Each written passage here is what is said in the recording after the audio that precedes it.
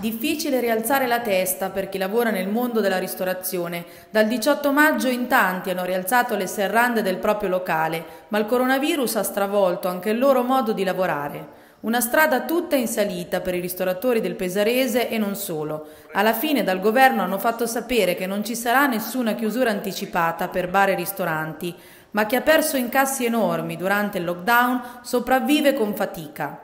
I ristoratori continuano a lavorare nel rispetto delle norme anti-Covid, tavoli distanziati di almeno un metro l'uno dall'altro, con la conseguente riduzione dei coperti. Il ristorante secondo me in questo periodo non è che hanno una situazione di, né di vantaggio né di svantaggio, l'unica cosa che sicuramente con un'azione di terrorismo del genere in cui si mette eh, e si danno a volte delle notizie inesatte tipo la chiusura del ristorante alle 11 di sera, uno fa passare l'idea che il ristorante è un punto in cui eh, si potrebbe contagiare, invece in realtà il ristorante è un posto sicuro perché sono state adottate tutte le normative. Se aumenta il terrorismo, eh, già che non c'è la gente e la gente non è sicura andare al ristorante, rischieranno anche di chiudere molti locali.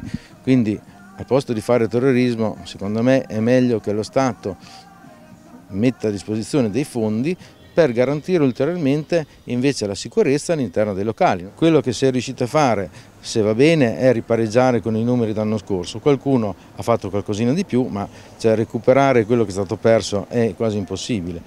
Quello che invece mi auspico è che la situazione non aggravi eh, la situazione economica dei ristoranti perché altrimenti dopo iniziano i licenziamenti veri. Dal primo di luglio in tutta sincerità il lavoro è andato bene, è andato bene fino ad ora.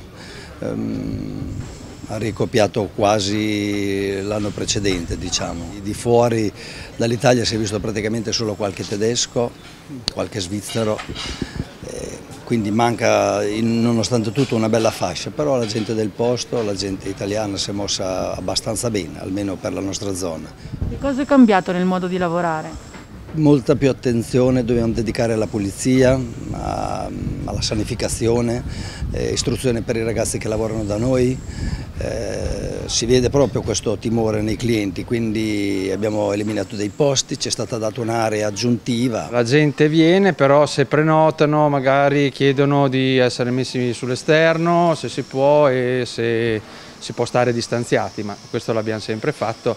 È chiaro che quando d'inverno è tutto chiuso si dovrà ridurre di molto la quantità di persone oppure si terrà comunque sollevate le tende in modo che possano mangiare ugualmente.